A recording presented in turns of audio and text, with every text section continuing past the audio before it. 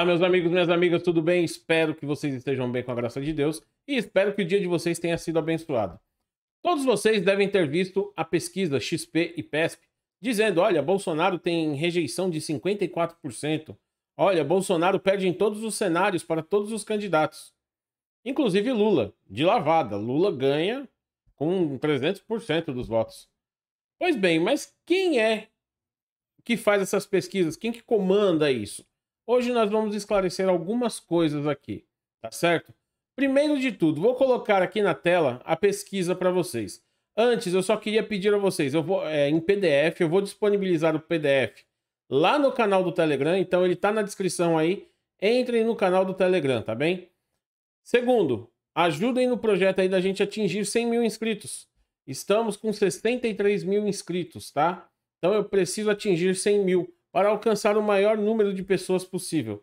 E é importante demais isso, tá? Precisamos mostrar a verdade para todo mundo. Então eu vou colocar aqui na tela primeiro. Pesquisa XP e PESP. Avaliação presidencial eleições 2022, tá? Você vai encontrar aqui a pesquisa que eu vou disponibilizar lá, depois você pode destrinchar. Afinal, são 51 páginas, tá? Se eu for falar da pesquisa, eu vou ficar só nela aqui. O que importa é como ela é feita. Esse é o tema hoje aqui. Uh, olha lá, Lula lidera com 37%, 9 pontos à frente de Bolsonaro e assim por diante. Segundo a pesquisa, Dória e Mutreta, eles ganham de Bolsonaro no segundo turno, que perde também para Ciro e Lula. Então vocês vejam só. Entendam como ela é feita. Quem é a XP? XP é uma empresa de investimentos, tá? Ela tem uma dona. Tem, aliás, ela é uma, na verdade, é uma sociedade, mas tem um acionista muito grande e muito importante. E eu vou mostrar para vocês aqui. Olha aqui, ó. Herdeira do Itaú declara voto em Lula. A herdeira do Banco Itaú, Maria Alice Setúbal, disse que numa disputa entre o ex-presidente Lula e o presidente Jair Bolsonaro em 22, seu voto seria para o líder petista. Para justificar seu posicionamento, Neca Setúbal, como é conhecida, ressaltou que Lula tem compromisso com os valores democráticos e que é comprometido com um Brasil mais justo. Nós vimos, principalmente com os roubos que foram feitos aí. Mas vamos seguir, esse não é o foco, tá? Então você veja aqui. Ela é uma das herdeiras do Itaú. Que é um dos, um dos acionistas aí da XP, tá? Vocês vão ver agora aqui, ó. Itaú Unibanco estima que compra de 11,38% do capital da XP se materialize no primeiro trimestre de 2022. Pelo acordo firmado entre as duas empresas em 2017, veja só, em 2017 o banco comprou 49,9% do capital social da XP.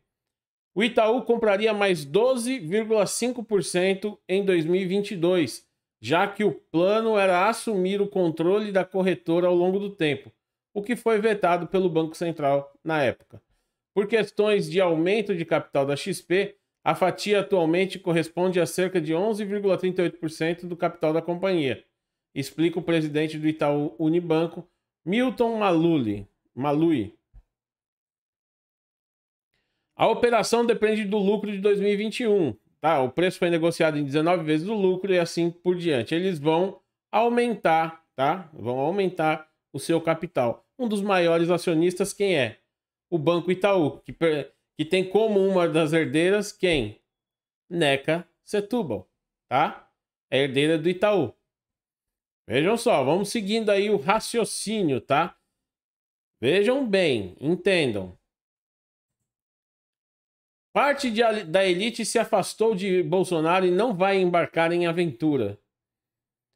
É, sem uma tradição de se manifestar politicamente, o empresariado brasileiro viu no questionamento das eleições pelo, é, pelo presidente Bolsonaro um ponto de virada que levou parte do setor privado a romper o seu costumeiro silêncio. A parte do setor são alguns que já já faziam campanha aí para Lula, tá? É, você vai. É só você entrar aqui na matéria que eu vou disponibilizar lá também no canal do Telegram que você vai ver. Publicado em página inteira nos principais jornais do país na última quinta-feira, o documento reuniu nomes de peso do setor empresarial, como Luiza e Frederico Trajano, do Magazine Luiza, Jaime Garfinkel, da Porto Seguro, Guilherme Leal, da Natura, Horácio Laffer Piva, da Clabin, uh, Carlos Gereissati Filho. Quem será, né? Lembra de Tarso Gereissati? Uh, além de figurões do setor financeiro, Pedro Moreira Salles e Roberto Setúbal, do Itaú Unibanco. José Olímpio Pereira, do Crédito Suíça. E Daniel Lichering, acho que é assim, não sei qual é a pronúncia. E Luiz Stuhlberger, da Verde A7, entre outros. Alguns empresários aí que assinaram os figurões. Tá certo? Agora nós vamos entender quem é a XP. Quem é a, aliás, o IPESP. Intervenção. Marqueteiro que aconselha Temer é dono de empresa condenado pela Justiça Eleitoral por Joaquim de Carvalho aqui, ó, o, o jornalista. Marqueteiro com quem Michel Temer se reuniu no domingo supostamente para debater a intervenção federal no Rio de Janeiro é um empresário que tem contas a ajustar com a Justiça Eleitoral. Antônio Lavareda, cientista político que se especializou em marketing político e análise de pesquisa, controla a Inteligência 21, empresa con condenada em agosto do ano passado pelo Tribunal Regional Eleitoral de São Paulo por doação eleitoral ilegal. A Inteligência 21, registrada na Junta Comercial de São Paulo, com capital de 50 milhões em nome de Lavareda, de Enoque Gomes Cavalcante, que também é diretor do Instituto XP e PESP, como você vai ver já já, tá? do Instituto de Pesquisas Econômicas, de Pesquisas Sociais, Políticas e Econômicas, do IPESP, tá? O Instituto é uma organização com a qual Lavareda se apresenta para fazer suas análises de pesquisas. A Inteligência 21 doou 150 mil reais para o PMDB de, PMDB de Pernambuco. Os recursos teriam ido para a campanha de Jarbas Vasconcelos à Câmara dos Deputados em 2014, tá? Vamos ver agora aqui quem faz parte do quadro aqui da, do, do conselho, tá? O conselho tem oito atribuições, entre as quais desenvolver pesquisas destinadas a conhecimento, avaliação, atualização é, a, da função jurisdicional eleitoral e da realização de eleições, e opinar sobre as matérias que lhe sejam submetidas pela presidência. Além de Lavareda, 12 pessoas participam do conselho. Vejam só. Entre eles, Luiz Felipe Dávila, pré-candidato do PSDB ao governo de São Paulo, Bolívar Lamounier e Everaldo, Everardo de Almeida Maciel, que foi chefe da Receita Federal no governo de Fernando Henrique Cardoso. Foi no, no governo de Fernando Henrique Cardoso que Lavareda ficou famoso por suas pesquisas. Ele costuma sugerir ações para melhorar a popularidade do então presidente, tá? Então vocês vão ver aqui quem é o, o Lavareda. A gente vai mostrar aqui também. Antes, vamos ver aqui, ó, o quadro societário. Da... Esse aqui é o quadro societário, os sócios administradores da IPESP, tá aqui, ó. Marcela Montenegro Coelho, que vocês vão ver já já quem é. Mônica de Arruda Lavareda, que é filha do Antônio Lavareda e Enoque Gomes Cavalcante, que também é sócio da, da Inteligência 21, tá bem? Então vamos lá. Primeiro, uh, olha só com quem ele faz. Antônio Lavareda faz programa, ponto a ponto na Bandeirantes, aqui, ó. Antônio Lavareda e Mônica Bergamo. Olha que interessante divulgar pesquisas do IPESP, né? Vamos ver. Tá aqui também. Essa aqui é Marcela Montenegro, tá? que faz parte do quadro societário. Além dessa aqui, que é filha dele, que é a Mônica Arruda, tá bem? Mônica de Arruda Lavareda.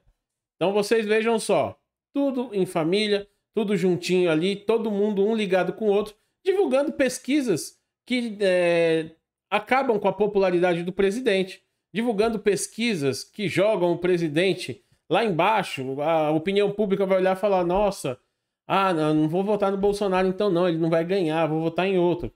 É isso a intenção deles. Certo? Essa é a intenção. Mais coisas aqui, ó. Aqui, ó. Aqui, como você pode ver, essa aqui é a, a Marcela Montenegro, tá? Então vocês vejam, XP tem como um dos maiores acionistas, os, acionistas assim, creio que mais importantes, o Itaú. A herdeira do Itaú, Neca Setúbal, declara voto em Lula. Antônio Lavareda era marqueteiro que aconselhava em Michel Temer, do PMDB. Você tem também. Uh, tem mais notícias aqui, aqui, ó. Empresários assinando manifesto junto com quem? Com a herdeira do Itaú, além do presidente do Itaú. Tudo isso e o IPESP ali envolvido fazendo pesquisa para quem? Para XP, que tem envolvimento com o Itaú, que é contra o Bolsonaro e que apoia Lula. Interessante, né? Esses números discrepantes da realidade que acontecem. Nós vemos aí o presidente indo às ruas, vemos as pessoas é, saindo junto às ruas, indo recepcioná-lo, multidões, fazendo motociatas, fazendo é, é, passeatas, manifestações, tudo em apoio ao governo Bolsonaro. Você vê Lula na rua, ele nem sai, porque aonde ele vai, ele é malquisto. E ele está liderando as pesquisas.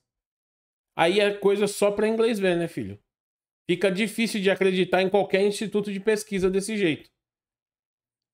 Qualquer instituto de pesquisa. Aí daqui a pouco vem um outro instituto, mora, mostra números totalmente diferentes. Lembrando que falsificar uma, uma pesquisa eleitoral não é difícil. Se eu quiser que uma pesquisa eleitoral dê 100% de intenções de voto ou bem próximo disso para Bolsonaro, eu coloco para fazer pesquisas, o, o pessoal para fazer pesquisa aonde? Onde é reduto eleitoral do Bolsonaro. Aonde as pessoas apoiam, pegar ali numa manifestação a intenção de voto, aí você pega nome, RG, registra tudo bonitinho. Se eu quiser que uma pesquisa dê vantagem ao Lula, eu vou colocar em redutos, lugares onde Lula tem maior vantagem. Aí eu coloco os pesquisadores para ir aonde? Ó, vai perto do em porta de presídio, vai em tal lugar, vai e assim eu coordeno. Aí eu vou obter o número que eu quero.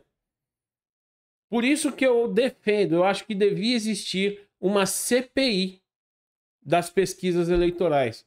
Porque isso é muito manipulado, é para manipular a opinião pública. E aí fica fácil.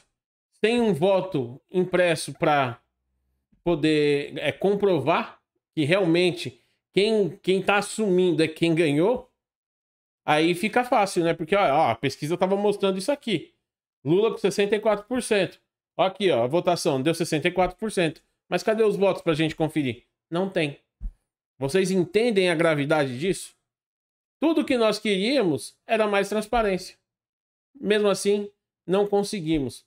É, não deram é, ouvidos às vozes da rua. Infelizmente. Tá certo? Um grande abraço. Que Deus abençoe vocês e que abençoe o Brasil. Porque, olha, realmente é difícil. Tá certo? Até a próxima.